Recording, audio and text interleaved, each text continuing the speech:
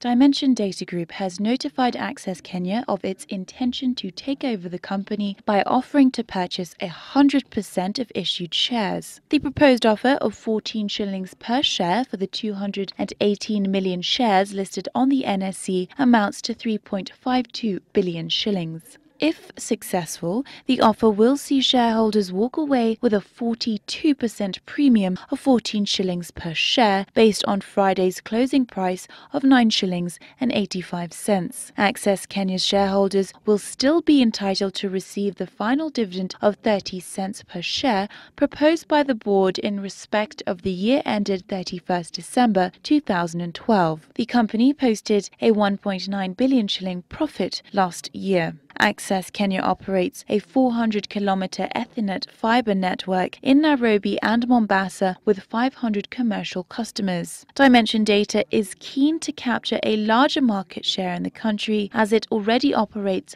three companies, namely Plessey Kenya, Internet Solutions Kenya, and Dimension Data Kenya.